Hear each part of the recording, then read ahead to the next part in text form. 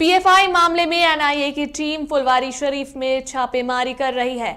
आपको बता दें कि फुलवारी शरीफ के संदिग्ध आरोपी अतहर परवेज के घर और तमाम जगह पर सुबह से ही छापेमारी चल रही है।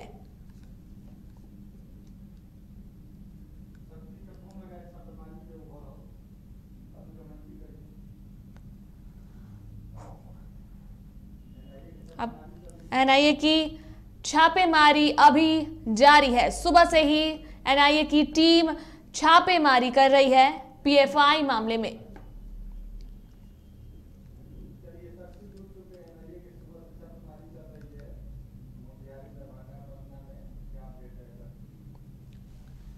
और अधिक जानकारी के लिए हमारे साथ फ़ोन लाइन पर हमारे सहयोगी पटना से शक्ति जुड़ चुके हैं। शक्ति, पीएफआई मामले में एनआईए की टीम की सुबह से ही छापेमारी चल रही है।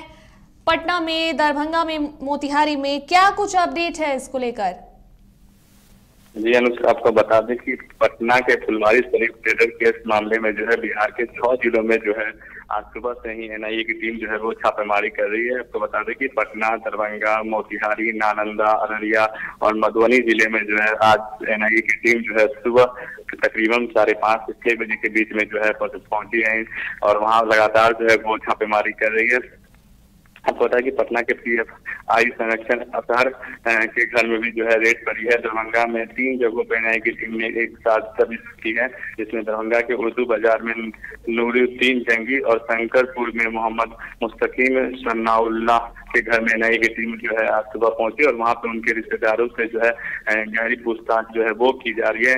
नूरुद्दीन के घर से एनआईए की टीम जो है एक बैग भी जो है अपने साथ ले गई है। साथ ही साथ आपको बताया कि दरभंगा के नूरुद्दीन जंगी को एनआईए ने, एनआई जो टीम थी वो लखनऊ से जो है कुछ दिन पहले उसकी गिरफ़्तार की थी और उसके बाद जो उसके वकील और संदिग्धों के लिए बेल का काम भी वो उस पर आरोप है कि एनआईए ने कहा कि नूरुद्दीन जो है पी एफ़ आई के जो भी संदिग्ध थे, उन लोगों के खिलाफ जो है वकील और और बेलर का भी काम करता था और वही देश के कई विरोधी गतिविधियों में संदिग्ध रहने का आरोप जो है फुलवारी थाने के में जो है, छब्बीस लोगों पर जो है, नाम नामजद एफ़ जो है, वो किया गया है। और साथ ही साथ आपको बता दें कि मोतिहारी में भी जो है मोतिहारी की चकिया के पुलवामा गाँव में रियाज मारूफ उस बबलू के घर में एनआई की टीम जो है, वो पहुँची है सुबह में। और रियाज के पी का मास्टर जो है, वो ट्रेनर बताया जा रहा है। उसके घर में जो है घर वालों से जो है एनआईए की टीम जो है वो पूछताछ कर रही है। बात नालंदा की अगर करें तो नालंदा में लहरी थाना क्षेत्र में नदी मोड़ स्थित जो है असरक अली के घर में जो है एनआईए की टीम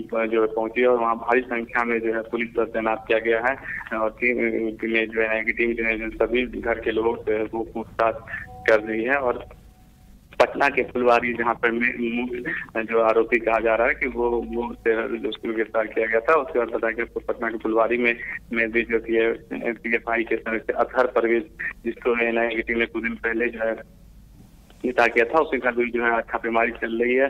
सुबह से ही छापेमारी चल रही है। घर के अंदर तमाम जो कागजात हैं और लोगों से पूछताछ की जा रही है। सभी कागजातों को जो है विनय की टीम जो है वो खंगाल रही है।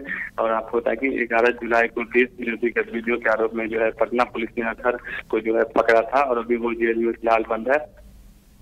मधुबनी में भी जो है एनआईए की टीम जो है वो छापेमारी कर रही है। मोहम्मद तौसीफ के घर में जो है वो छापेमारी चल रही है और तमाम जो लोग हैं एनआईए की टीम जो है सब के घरों में जो उनके लोगों से पूछताछ कर रही है ताकि किसी भी तरह का जो कागजात है, जो है वो हासिल किया जाए। और इन सब पे आरोप है कि देश के विरुद्ध जो है गतिविधियों के मुद्दे में ये सभी संदिग्ध है और इन सबको लेकर जो है एनआईए की टीम जो है लगातार सुबह से छापेमारी कर रही है।